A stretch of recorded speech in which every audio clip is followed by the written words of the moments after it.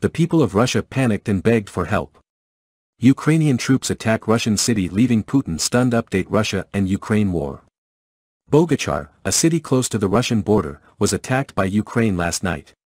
On the evening of September 23, the Ukrainian army staged a surprise attack on the city of Boguchar, causing a huge loss to the Russian army. Serhiy Haidai said, we hit the border city of Russia with three missiles and two drones.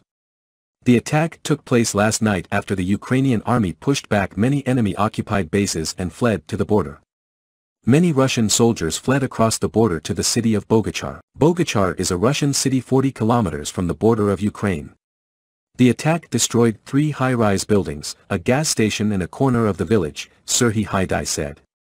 The attack of the Ukrainian army caused a huge damage to the Russian army. It is a great deterrent to the Russian army and people, causing a great panic among the Russian people.